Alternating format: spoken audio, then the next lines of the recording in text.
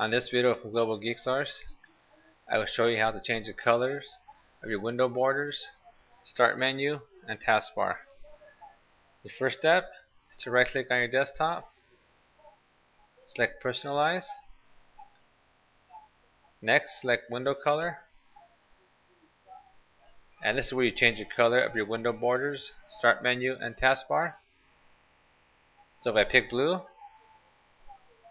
if I want to increase that intensity, I grab the slider, drag it to the left, and it gets darker. I drag it to the right, it gets lighter.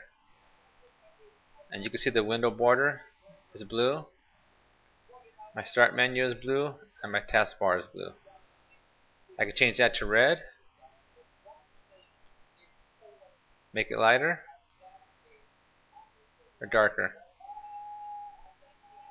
Check the start menu color is red too. I'll pick blue. Save changes.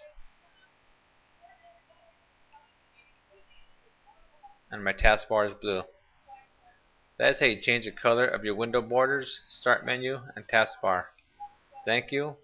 This is another video from Global Geek Source.